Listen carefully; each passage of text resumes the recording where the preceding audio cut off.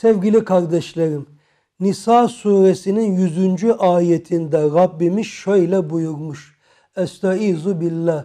Ve men yahruc min beyti. Kim evinden çıkarsa, ne olarak çıkarsa, muhaciren ilallahi ve rasuli, Allah'a ve Resulüne hicret edici olarak çıkarsa. Sümme yudrikul mevt. Sonra ölüm onu yakalarsa fakat vaga ecruhu alallah. Şüphesiz onun mükafatı Allah'ın üzerine bir hak olmuştur. Mana bir daha dikkat kesilelim. Kim Allah'a ve Resulüne hicret edici olarak evinden çıkar ve sonra ölüm onu yakalarsa şüphesiz onun mükafatı Allah'ın üzerine bir hak olmuştur. Bu ayet-i kerime Cündep İbni Damra hakkında nazil olmuştur.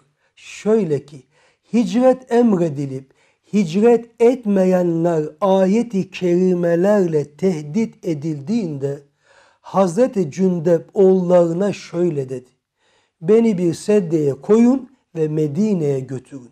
Çünkü ben hicrete gücü yetmeyenlerden değilim.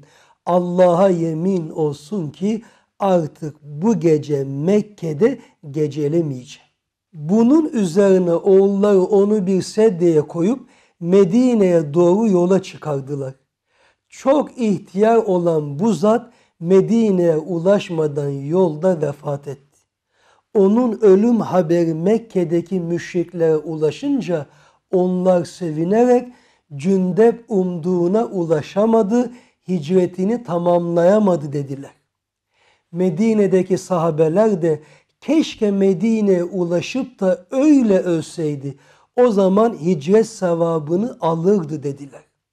İşte onların bu sözleri üzerine Cenab-ı Hak bu ayeti kerimeyi indirdi ve Hazreti Cündeb'in tam bir hicret sevabı aldığını haber verdi. Alimler bu ayeti kerimeyi delil getirip şöyle demişlerdir. Kim Allah için bir amele niyetlenir de sonra onu tamamlayamazsa Allah o amelin mükafatını o kişi için yazar. Mesela bir kimse hafız olmaya çalışsa ama ömrü yetmeyip hafızlığını tamamlayamadan bu iş üzere ölse Allah ona hafızlık sevabını ihsan eder. Diğer ameller de böyledir. Öyleyse önemli olan bir ameli tamamlamak değil, Allah'ın rızasını celbeden bir amel üzerinde ölmektir.